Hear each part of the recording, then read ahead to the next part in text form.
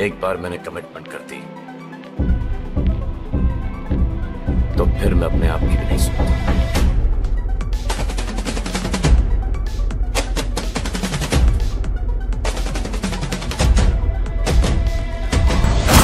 स्वागत तो करो हमारा। अरे तेरे को दिखता नहीं वैसा कितने आदमी है।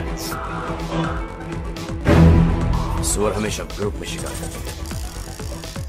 राधे रोकेगा बायोलॉजिकल पैंडमिक क्या राधे रोक पाएगा? पैंडमिक स्टार्ट होने से। क्या राधे बचा पाएगा नैन्सी को? जैसा कि हमने पिछली वीडियो में सुना कि सैम शशांक को मारकर दवाई चुरा लेता है, जिसके बाद राधे अपनी टीम के साथ सैम को पकड़ने और हाइड्रोफोन को वापस लाने के लिए जाता है।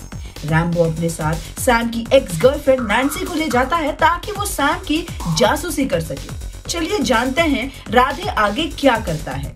राधे की टीम जानकारी हासिल करने के लिए बायोसाइट कंपनी के सीईओ गोपाल आचार्य को किडनैप कर लेती है। उन्हें पता चलता है कि हाइड्रोफोन के सैंपल्स बस उतने ही थे जितने डॉक्टर शशांक के पास थे, जो अब सैम के हाथों में होते हैं। सैम के पास कानीमा वायरस की दवा होती है, पर उसके पास कानीमा वायरस नहीं था। वो इस बात से अनजान था कि बायोसाइट लैब से कानीमा वायरस को बाहर लाने के लिए शशांक ने वो वायरस अपनी बॉडी में इंजेक्ट कर दिया था। सैम गोपाल से हाइड्रोफोन के सैंपल के बदले कानीमा वायरस एक्सचेंज करने की डील करता है।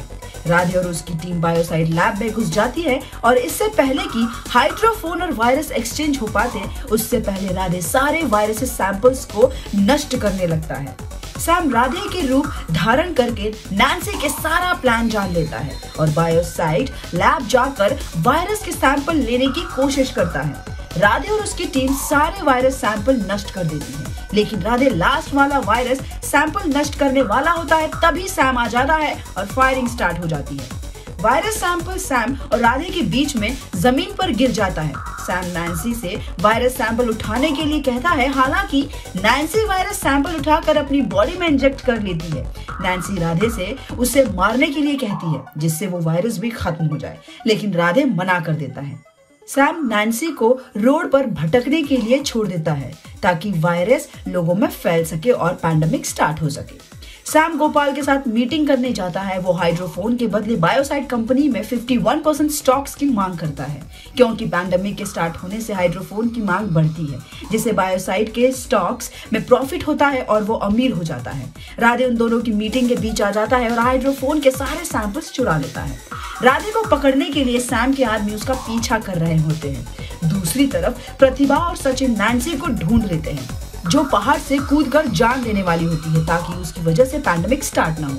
राधे सैम के सब आदमियों को मार देता है, लेकिन आखिरी आदमी जो सैम का बेस्ट फ्रेंड होता है, सैम उसे गलती से गोली मार देता है। सैम राधे का पीछा करता है, लेकिन सैम उसे बुरी तरह से पीटता है। कुछ ही देर में नैन्सी का 20 घंटों का टाइम एंड होने वाला होता है। सचिन राधे के पास हाइड्रोफोन लेने के लिए पहुँच जाता है, जैसे ही राधे हाइड्रोफोन सचिन को देने वाला होता है, तभी सैम खड़ा हो जाता है और राधे पर गन पॉइंट कर देता है। राधे हाइड्रोफोन सचिन की तरफ़ फेंक देता है और सैम की गन उससे छीन कर उसी को गोली मार देता है।